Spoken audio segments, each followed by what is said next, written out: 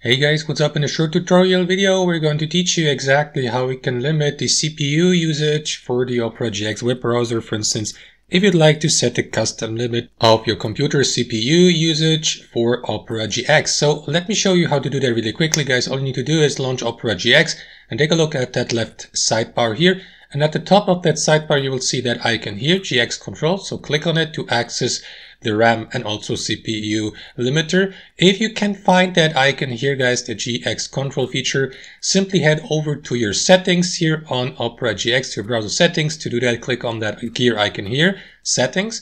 And after that, scroll down inside your browser settings till you get to the sidebar settings. Click on that arrow to the right icon here and enable GX control so that it may appear inside your sidebar. So again, click on that icon here on your sidebar, scroll down till you get to the CPU limiter and simply enable it by switching it on here.